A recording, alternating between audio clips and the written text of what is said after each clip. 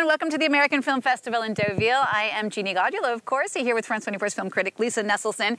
Now, Deauville has hosted this festival for almost half a century. Uh, this festival is held in the Normandy region of western France, not far from the D-Day beaches, which is actually one of the reasons why they decided to start this festival here several years ago. Uh, Lisa, before we talk about this year's festival, which obviously is being held under very unusual circumstances, just set the stage for us a little bit. Tell us about what the festival is like in normal time. Well, when it started in the mid 70s, there, most of the people of old Hollywood were still ambulatory and more than happy to come to France. So you can see some of those names uh, stenciled on the uh, bathing changing rooms out on the beachfront. I wrote down a few today Elizabeth Taylor, Robert Mitchum, Jessica Tandy, Cyd Charisse. And then in the 90s, I was here and saw some of the most prominent writers and artists in France quaking in their boots because they were paying tribute to the great Clint Eastwood, who, of course, has always been admired here. Um, and I have to say, this evening, um, the, the opening ceremony was extremely moving. It's become kind of trendy to bash uh, old white men, and we had a magnificent tribute from Michael Douglas to his father, Kirk Douglas, whose incredibly distinctive uh, dimpled chin is on the poster this year. And uh, he said that because uh, uh, his father had the, uh, the sense to die in February before COVID really took over at the age of 103, they'd never been able to have a proper memorial. And so he was thanking the festival for making this tribute sort of a memorial. And also, a wonderful pianist came out and played a medley of songs uh, by the great Ennio Morricone, the composer who died recently. So I think those are two old white guys that we can say thank you to for making the world a better place. But uh, what, uh, you know, after the uh, the truck attack in Nice that mowed people down on the beach, uh, the next festival here there were concrete barriers here, so one feels very safe. And of course, now we're fighting uh, not possible terrorism, but something invisible that mm. uh, is an equal opportunity. Lisa, just tell us, tell us, a bit more about the security measures. What kind of things have been put in place here? Uh, well, they're very, very serious about wearing a mask, uh, and uh, and I thought the auditorium would feel a little bit empty with every other seat uh, not filled, because this is one of the great auditoriums in Europe. In fact, in the entire world, fabulous sound, enormous screen, incredible sight lines. When the independent American filmmakers come here, they look out and say, I think this is more people than have ever seen this movie ever, you know, assembled in one place. So it, it, it still, even with only 700 people instead of 1,500, mm. feels pretty full. And also, uh, the Minister of Culture, Roselyne Bachelot, gave a magnificent speech about how important it is for people to go to the movies. And in France, we've had the privilege of being able to do that for about two months now, and people are starting to go back to cinemas. So I personally uh, don't feel unsafe going to movie theaters. I feel more queasy on public transportation or just walking down the street. Well, no, just to jump in, what, what's interesting here in regard to the security measures uh, for the fans, uh, we're on the red carpet right now, but all alongside the red carpet, there were hundreds of fans who turned out just like every year, it felt like, but everyone had their mask on, which I think is really great that everyone was, was playing the game and not trying to push in and get too close to, to the celebrities who were here. Like, for example, in the Venice Film Festival, where they put up a huge wall mm-hmm. to separate um, people who were trying to get to see the fans there. Uh, every year, Lisa, the Deauville Film Festival also has a competition. This has been going on for some 25 years now, and it's a competition of independent American film. That's really the specialty. Usually it's a chance for young, struggling filmmakers to come to France, but this year I think a lot of them were just really disappointed. Uh, well, yeah, I mean, how could you not be? You would have gotten an all expenses paid trip to uh, to beautiful Deauville, and it is a beautiful town and a wonderful place to see movies, and the audiences are extremely enthusiastic. Um, so, I when the the competition started 26 years ago, um, there were 10 films in competition. This year there are 15, which leads one to believe that mm-hmm. you know American independent film is doing pretty well. And of those 15, eight were directed by women. And speaking of uh, women. Uh, uh, about two blocks that away is where uh, Coco Chanel's very first boutique was in 1913. And I was thinking she probably could have designed some very fetching masks to go, you know, to match. I would have loved outfits. a Coco Chanel mask. Uh,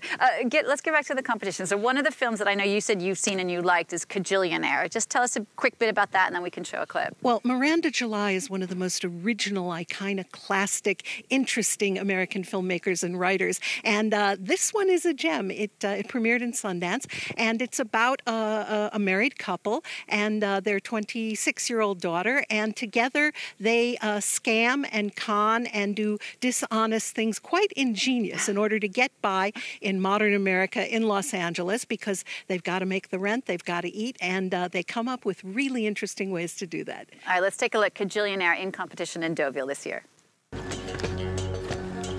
There's a camera there, there, and there. Cash. Nope, many order. This is not a cheap tie. Most people want to be cajillionaires. That's the dream. That's how they get you hooked. Hooked on sugar, hooked on caffeine. Ha ha ha, cry, cry, cry. Me, I prefer to just skim. So do I. February, March, April. Uh, we may have to pay in installments. Rent is an installment. It's a monthly installment. Now, another film in competition um, that's directed by a woman is First Cow. Yes, I haven't seen this yet, but I hear great things. Kelly Reichardt, another iconoclastic, very independent uh, writer director, and uh, apparently it's set on the American frontier in the mid 1800s, and it's about two possibly immigrants who uh, want to bake things, but in order to do that, they rely on the uh, the main output of a cow, which I guess would be milk. Butter. that's necessary. So um, so I think uh, that, right. that we're in for a treat because she won the main prize here. I can't believe that was in 2013 mm. for Night Moves, which uh, was a, uh, uh some people would say, eco terrorism tale, uh, eco conscientiousness. Lisa, let's get back to the opening ceremony that was just uh, happening tonight. it started with this tribute we were mentioning briefly of Michael Douglas to his father, Kirk Douglas. So let's just take a listen to what he had to say always was asked, you know, what's your favorite movie? And I sort of used his line a, a lot when he says, you work as hard on your failures as your successes. And that's true.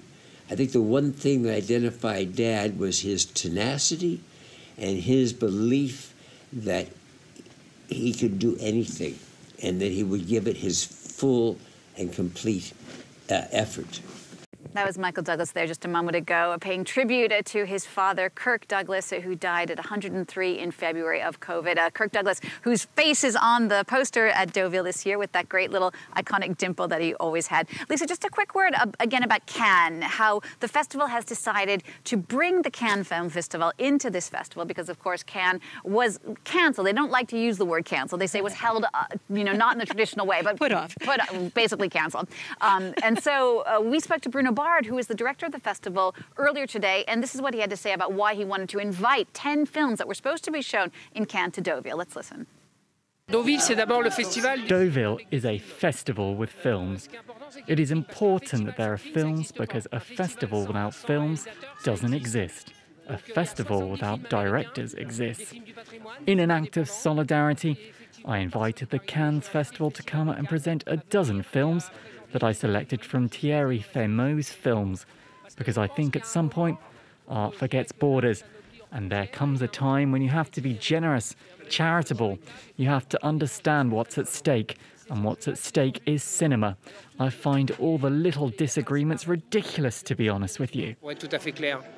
Bruno Barde, they're the director of the Deauville Film Festival, talking to us about Cannes and this decision to screen 10 films that were supposed to be shown in Cannes here. Lisa, tell us a bit more about that. Well, it's an astonishing thing because usually film festivals are, are very, very jealously guard their their thematic uh, feelings, their their stuff that they've managed to find. And uh, because Cannes uh, was put off uh, temporarily, uh, they uh, they they picked 54 films and gave them a Cannes 2020 designation saying, you know, had we had the festival, these movies would have been shown. So to show 10 of them here, uh, some of them are world premieres, uh, primarily the French titles. But this, this is an astonishing thing because this has always been the American Film Festival. And now, as several of the people who spoke on stage uh, at the opening ceremony said, it is a, a film festival, period. And indeed it is. And, and one of these uh, 10 films that will be shown here is called Last Words. Uh, it's by Jonathan Nossiter. Tell us about that. Jonathan Nossiter, along with us, is one of of the Americans who's going to be here because he lives in Europe. He's actually a filmmaker who started out as a, a wine steward and uh, is now an organic farmer in uh, in Italy, trying to rescue heirloom vegetables organically. And so he will be coming with uh, one of his main actors, Charlotte Rampling. And Last Words is set in 2086, and uh, it's about uh, that old standby, the end of the world. Sounds good. Now, not just Cannes is invited here to Deauville, but also an animated film festival uh, called the Festival of Annecy, Annecy, a town in the French Alps. And in the second weekend, they'll be showing quite a few films uh, from Annecy, including one called Calamity. This is a wonderful initiative because I can't emphasize too much how France wants to make sure that there will be subsequent generations who will want to leave the house and go to the movie theaters. And so they make opportunities for very young people to get used to going to a film, the joy of going to a film, especially with a family member. And so uh, for just 10 euros, kids can buy a pass to see three movies, including the one that won in Annecy, which is the world's most significant animation festival. It's enormous, but it was entirely digital this year. And it's the story of the childhood of Calamity Jane. The animation is exquisite. It's made by French people. Uh, the dialogue is in French, but it's set in the American Wild West. Lisa, we just have a few minutes left before we wrap up. I mean, you've been coming to this festival almost as long as I have. Uh, do you have a favorite story, favorite anecdote? Uh, well, I was just thinking because the marvelous American actor Chadwick Boseman died very recently. He was here uh, six years ago with Get On Up playing James Brown, and uh, he was here with uh, his producer who happened to be Mick Jagger. And I have to say, that was one of the hardest to get into press conferences this side of Quentin Tarantino. I remember that. I actually hosted on stage that night night with Mick Jagger and uh, with the rest of the team for that movie. And afterwards, I got a chance to dance with Mick Jagger at the after party, one of the perks of getting to be the MC here in Deauville. Lisa, thank you so much uh, for your time, for your expertise. Lisa Nesselson, our film critic here on France 24. Do stay with us. There is a lot more to come.